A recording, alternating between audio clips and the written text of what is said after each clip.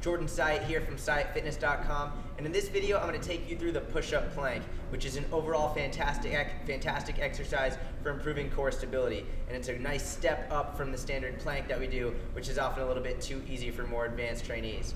So what I'm going to do is I'm going to get down into the push-up position right now, and in this position, I'm going to start here, glutes tight. I'm not going to have my butt up I'm not gonna be arching down low. I'm gonna be in a nice neutral spine position.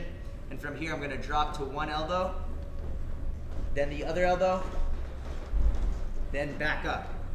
Then we can alternate which hand comes first and come up. Now, a couple things I want you to pay attention to. The first thing I'm gonna pay attention to is how I'm not rotating my torso side to side.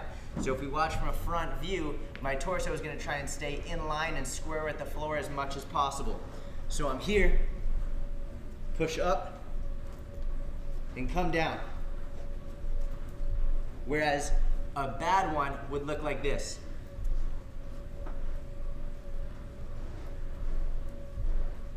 And you can see that my torso and hips were rotating back and forth.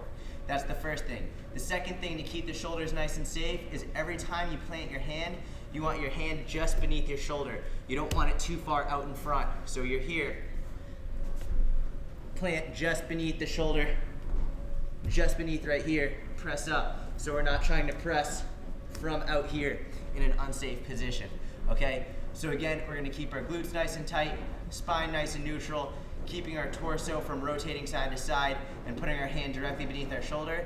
And we can incorporate this near the end of our training session for a great core stability workout. I hope you enjoyed the video, and if you have any questions or comments, you can leave them below.